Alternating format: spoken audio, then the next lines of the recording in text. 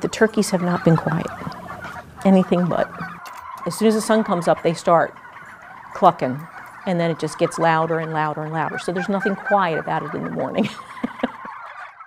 I started out with the farm 25 years ago. I bought it as a horse farm, and this year the farm needed to pay for itself. So I decided that turkeys, heritage turkeys, would be a good way to earn some quick cash, if you will. The biggest thing about heritage breeds is they're able to reproduce without human intervention. The big turkeys that you get from the grocery store, they are all artificially inseminated and they're slower to mature, maybe 16 to 18 weeks for a white bird, and these are 24 to 26 or 28 weeks to maturity. The price is kind of steep, so some people it's sticker shock. You know, they're $9 a pound, and people are used to getting their 250 or $3 a pound turkeys. If I were going to the grocery store and I had to put $180 down for a bird, I would think twice.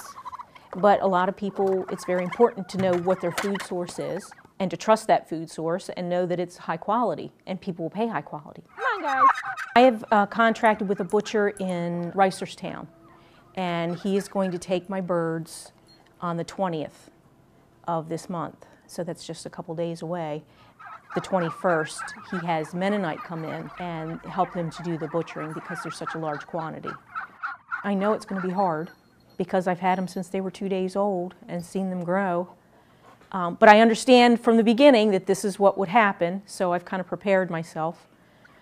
I've never raised birds en masse, and you know I've always had parakeets or something. I wish I had done it sooner. So. Of course, I might not be saying that after the 21st. so we'll see how I feel then.